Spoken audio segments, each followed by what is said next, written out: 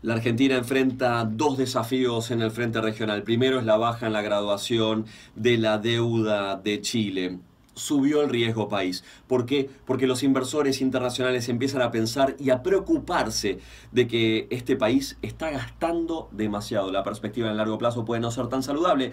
Y recordemos siempre que los inversores internacionales invierten en paquetes de países, no en un país. Si uno de los países baja en la graduación, baja el paquete y eso es malo para la llegada de capitales a la Argentina. Por otro lado está Brasil. Brasil vivió un conflicto por el tema corrupción entre el Poder Judicial y el Poder Ejecutivo.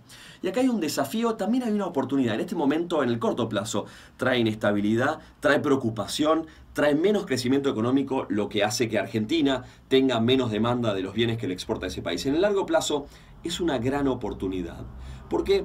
Porque si Brasil logra realmente limpiar su sistema político como pareciera que, según muchos analistas, quiere hacer, puede realmente asumir el destino de grandeza económica y social que está aspirando en este momento. Y recordemos una cosa, que es fundamental. En el mundo los países pobres no existen. En el mundo hay dos tipos de países, los países ricos y los países corruptos. En el momento que un país se libera del yugo de la corrupción, empieza misteriosamente a crecer. Y en ese caso, un Brasil a largo plazo que está creciendo, que es pujante, que va para adelante, es buenísimo para la Argentina. Por supuesto, resta para la Argentina preguntarse si realmente quiere seguir los pasos de Brasil y realmente quiere limpiar su sistema eh, político para también asumir el destino que se merece. Pero eso, por mucho, excede esta columna.